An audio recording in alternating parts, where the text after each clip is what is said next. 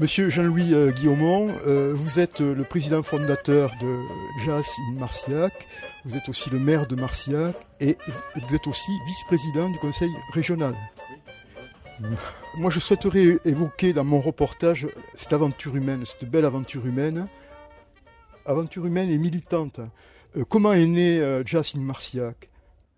Jazz in notre festival, est né de la volonté d'une association euh, que j'avais créée donc, en 1976.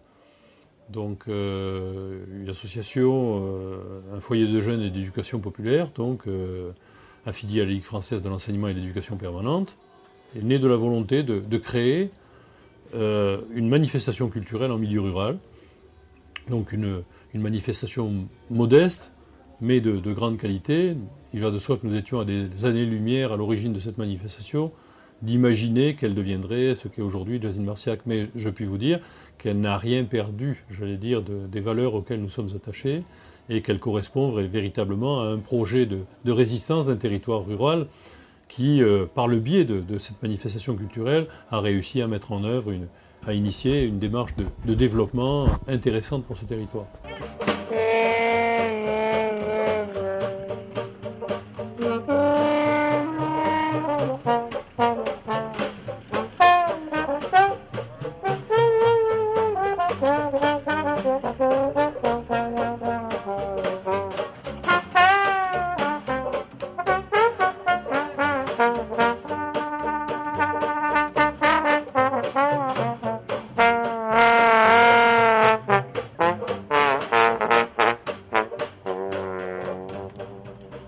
Organiser un, festival de jazz en milieu rural dans un canton excentré qui était promis à l'exode euh, rural et au vieillissement, c'était un sacré pari.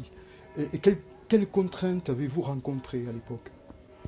Alors nous avons rencontré des contraintes de toute nature. Quand on met en œuvre en milieu rural, en milieu enclavé, comme vous le disiez très justement, euh, une, initiative de ce type, eh on se heurte à quelques difficultés naturelles et nous nous sommes attachés tout au long de ces années à essayer de démentir les statistiques de l'INSEE qui invariablement nous promettait à une disparition lente mais, certaine. Euh, j'en veux pour preuve euh, notre, collège qui, dès l'origine, était promis à une disparition parce qu'il ne comportait pas un secteur scolaire suffisamment riche en élèves pour permettre son, développement. C'est la raison pour laquelle nous avons créé les ateliers d'initiation à la musique de jazz, cette, initiative culturelle qui nous a permis de sauver ce collège et de multiplier ses effectifs par deux. Et puis par la suite s'est installé une démarche de développement autour de, la culture et du tourisme sur ce territoire. Et nous n'avons qu'à nous en louer aujourd'hui, puisque c'est un territoire vivant, c'est un territoire qui prend des initiatives, qui développe des infrastructures de qualité. J'en veux pour preuve l'existence de la Strada, notre, salle de concert, mais également d'autres initiatives de, qualité qui permettent d'améliorer la qualité de vie de nos concitoyens.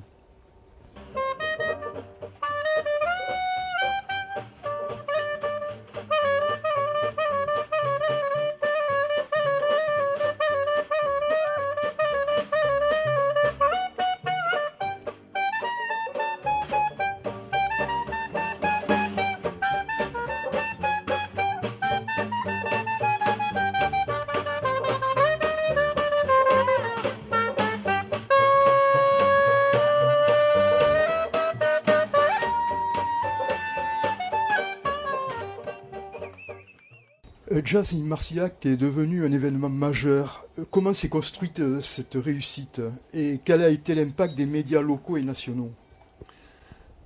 Mes interlocuteurs, journalistes essentiellement, ont du mal à penser qu'il ait fallu autant de temps pour installer cette initiative. 36 ans pour atteindre le, niveau de rayonnement que nous observons aujourd'hui.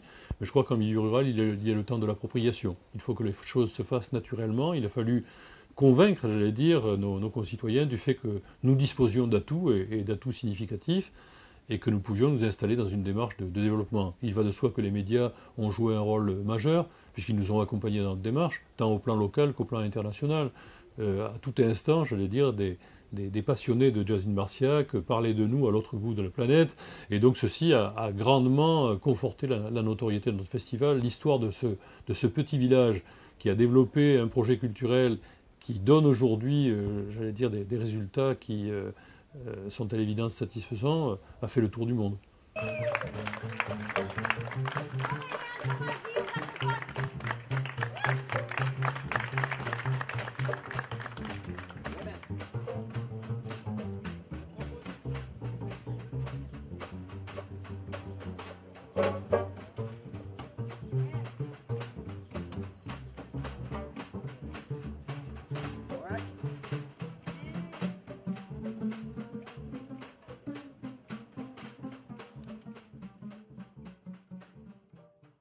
Comment euh, trouve-t-on et mobilise-t-on 850 bénévoles dans une bourgade de 1300 habitants, 1350 très, naturellement, en offrant à chacun d'entre eux la possibilité de s'engager dans un beau projet. Et chacun, je crois que ce qui fait la richesse de, de Jazz Marciac, c'est bien évidemment cette mobilisation importante du bénévolat, mais, c'est également c'est ce qui donne sa couleur particulière, cette atmosphère particulière à Marciac.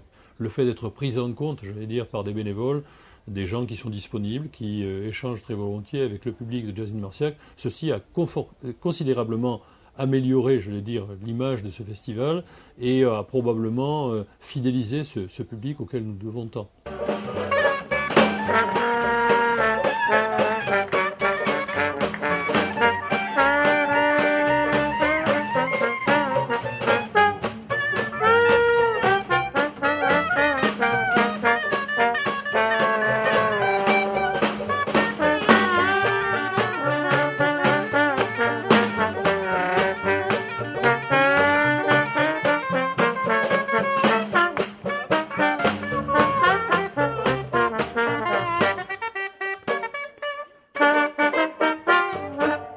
Qualifie non sans raison de militant culturel en milieu rural.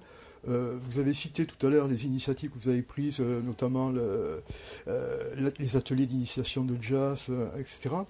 Et moi, je dis que c'est un formidable pied de nez aux, nihilistes et aux fatalistes. Et est-ce que vous auriez un message à faire passer à tous ceux qui désespèrent de notre société? Qu'ils se mobilisent qu'ils se mobilisent, qu'ils n'acceptent pas, je veux dire, toutes les fatalités auxquelles ils sont euh, virtuellement promis. Moi, le, conseil, si je puis me permettre de donner un conseil, c'est se mobiliser, c'est ne pas accepter, je vais dire, tout ce à quoi nous sommes promis. Je crois que l'initiative humaine a permis de, résoudre des quantités de, de, problèmes dans le temps. Eh bien, je crois que nous avons tous capacité, je vais dire, en nous mobilisant, à donner naissance à de beaux projets et à montrer que nous pouvons croire en notre devenir, même dans les régions les plus, isolées. Vous savez, euh, l'année dernière, euh, le président de la République nous a, nous a rendu visite et il nous a dit que Marciac euh, était un territoire exemplaire en ce sens qu'il ne se résignait pas. Et je crois que cette capacité de résistance que nous avons développée au fil du temps est probablement l'axe conducteur de notre projet. Et alors, dernière question, quels sont vos prochains projets? Poursuivre, c'est-à-dire non seulement pérenniser ce qui existe aujourd'hui, installer une, saison de 50 levées de rideaux dans un village de 1350 habitants, euh, mobiliser 15 euh, 000 euh, spectateurs payants hein, dans un territoire comme le nôtre, c'est un, beau projet en soi, en soi. Nous avons bien évidemment la volonté d'ouvrir de, nouvelles déclinaisons, notamment dans le domaine de la formation. Nous voulons euh, continuer à être un centre de formation important, depuis les ateliers d'initiation à la musique de jazz jusqu'au développement que nous connaissons aujourd'hui, à savoir des parcours d'excellence pour de jeunes musiciens, les accompagner dans la voie de la professionnalisation. Voilà les projets que nous caressons pour l'avenir. Mais bien évidemment, nous souhaitons aussi, puisque Marciac est, grand site de Midi-Pyrénées, ouvrir un centre d'interprétation de notre grand site. Bref, nous ne manquons pas d'idées.